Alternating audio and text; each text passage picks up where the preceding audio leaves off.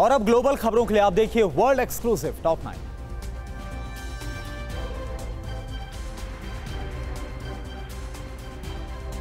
Taiwan पर कब्जे के लिए विस्तारवादी चीन ने जंगी तैयारियों को तेज कर दिया। लेटेस्ट मिलिट्री ट्रेनिंग में पीएलए की आर्टिलरी ब्रिगेड बमबारी की प्रैक्टिस करती नज़र आई।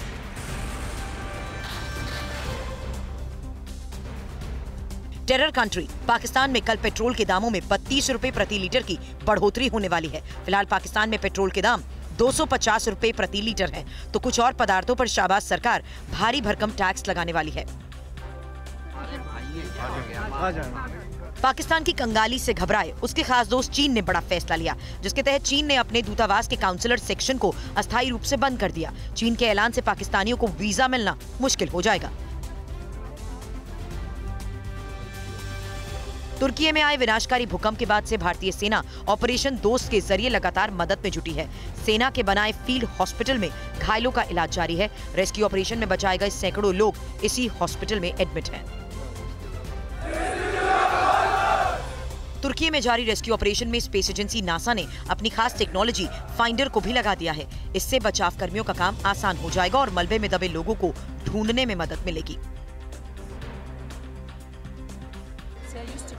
तुर्की सीरिया में विनाशकारी भूकंप की वजह से हज़ारों बच्चे अपने परिजनों से बिछड़ गए। हैं यूनिसेफ इन बच्चों के साथ काम कर रहा है और उनकी मदद कर उन्हें नॉर्मल करने की कोशिश में जुटा है।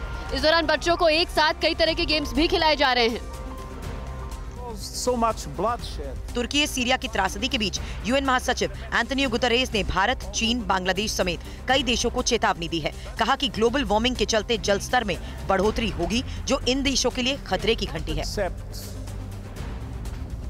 न्यूजीलैंड में आज भूकंप के तेज झटके महसूस किए गए। रिक्टर स्केल पर भूकंप की तीव्रता 6.1 मापी गई।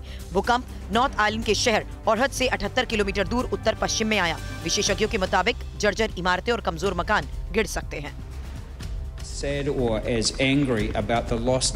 न्यूजीलैंड सरकार ने प्राकृतिक हादसों के लिए जलवायु परिवर्तन पर ग्लोबल एक्शन में कमी को जिम्मेदार बताया। साइक्लोन ग्रेवियल की वजह से ही आई बाढ़ और विनाश के बाद वहाँ नेशनल इमरजेंसी लागू है।